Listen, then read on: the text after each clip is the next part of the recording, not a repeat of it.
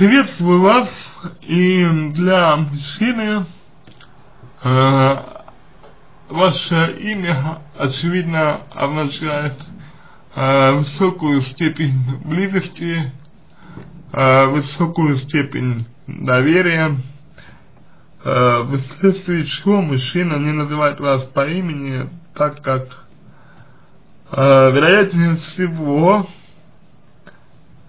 э, боится того, что э, значит э, того, что э, окажется э, чересчур зависимым от вас. Такое, знаете, к сожалению, бывает, такое, к сожалению, случается, когда мужчина э, реже, гораздо реже женщина, э, значит, э, не может вот назвать своего любимого человека по имени, просто потому что, ну вот, кажется, кажется ему, что если она, если он или она это сделает, то э, будет такая ситуация, что окажется в высокой значит, э, высокой степени эмоциональной э, зависимости от человека, а мужчина, э, вот, скорее всего, эмоционально зависимым э, быть не хочет, его э, что-то его что-то останавливает от подобного. И, соответственно, поэтому он вас и не называет по имени. Вот. А, значит, можно ли говорить о том, что это а, свидетельство того, что мужчина несерьезно к вам относится, нет, нельзя, потому что э, мужчина, ну, он же знакомит вас э, со своими друзьями, да, и так далее. Но при этом просто не называет вас по имени, значит, он именно э, не хочет, значит, для него это что-то значит. И, видимо, отношения для него э, не самое приятное или на, напротив э, чересчур значимо. Такое тоже, тоже бывает и нельзя, к, сожалению, э, это исключать. Ну, исключать вот подобный момент нельзя. Вот, э, значит, э, вы спрашиваете, что происходит. То есть, что происходит, я так понимаю, э, с молодым человеком. Ну, э, чтобы ответить на ваш вопрос э, так, точно, прям вот, конкретно нужно все-таки больше информации о мужчине. А пока могу сказать только то, что имя он не называет, потому что для него это чересчур интимно. То есть, наверное, э, точнее, не наверное даже, а скорее всего, э, куда более интимно, чем, например, секс. Для, ну, ну, ну для сравнения, да, для понимания масштабов, так скажем, масштабов проблемы. А в этой ситуации, конечно, вам нужно разговаривать с ним, самим, э, вот, без обвинений, э, без агрессии, без чего-то такого, просто-напросто э, вежливо, ласково, нежно спросить у него, дорогой, э, милый, почему ты не называешь меня по имени, скажи мне, что э, происходит, ибо я не понимаю. И, соответственно, если мужчина вами вами дорожит, если мужчина хочет быть, э, если мужчина хочет быть с вами, если мужчина серьезно настроен по отношению к вам, ну, ну он, конечно же, скажет, э, что им движет, потому что ваше право не лезть, э, ваше право, чтобы вас называли по имени, да, вы имеете на это полное право. Но здесь важно э, соблюдать границы.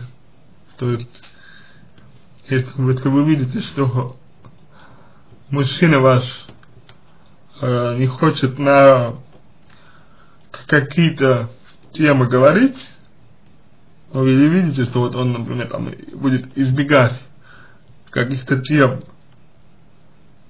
соответственно, лезть к нему в душу не стоит, то это может э, быть воспринято негативно, к сожалению. Но то, что он должен называть вас по имени, то, что он не называет вас, оскорбляет, это очевидно. И вполне вероятно, что вот мужчина один раз это сделал, да, то есть он вот вроде бы как случайно не назвал а, вас по имени, вот случайно назвал, и подумав, как вы на это отреагируете. Ну, вы отреагировали на это достаточно нейтрально. И вот теперь э, так делать все время. Вот. А вот ему так удобно. Понятно, что это ущемляет вас э, и обижает вас, оскорбляет вас. Вот. Но я не думаю, что дело здесь в том, что он относится к вам несерьезно. То есть, если он относится к вам несерьезно, боюсь, это уже ваша, э, ну, ваша собственная неуверенность в себе. Вот. То есть я понимаю, что вам, наверное, будет неприятно это слышать. Вот. Но тем не менее. Потому что, ну, обычно, когда человек говорит, что, что вот другой что ко мне не относится серьезно, э, интерпретируя какое-то поведение того, о ком идет речь, ну, как, как, как правило, такой человек не до конца уверен в себе. И я понимаю, почему вы не уверены в себе. Действительно, человек не называет вас по имени, как вы можете быть в себе уверены. То есть тут, в принципе, все логично, все как бы нормально. Вот. Но э, вам, вам, нужно просто поговорить и донести до человека спокойно, так, знаете, обстоятельно донести до человека то, что вот для вас неприемлемо, когда вас э, не называют по, по имени. Вот. Если вы сможете это сделать и донести до человека, что вас это оскорбляет, что вы не будете лезть как бы к нему, что э, вы не будете там его, у него допытывать, что там произошло с ним и так далее. Если вы будете говорить только о себе, то ситуация как раз э, будет складываться таким образом, что вы находитесь, э, ну, как бы, на стороне правых.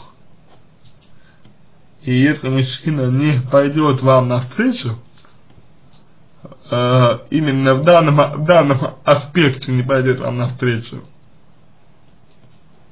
то это говорит о том, что он готов э, мириться, мириться с тем, что вам вот может быть какие-то вещи неприятные. И тогда уже, безусловно, вам решать, будете ли вы с этим человеком, ну, дальше поддерживать отношения или нет. Э, не торопитесь, пожалуйста, делать выводов, э, вот, порвать с э, мужчиной вы успеете всегда и уйти от него. То, что успеете всегда, это не так, поверьте мне, это не так, э, поверьте, сложно, легче, легче разру, разрушить, да, чем строить. Сперва попробуйте все-таки выяснить, э, что действительно им движет, движет и почему. А после уже будете э, решать. На этом все. Надеюсь, что помог вам. Если какие-то дополнительные вопросы остались, пишите в личку «Помогу». Если вам понравился мой ответ, буду благодарен, если сделаете его лучше. Желаю вам всего самого доброго и удачи.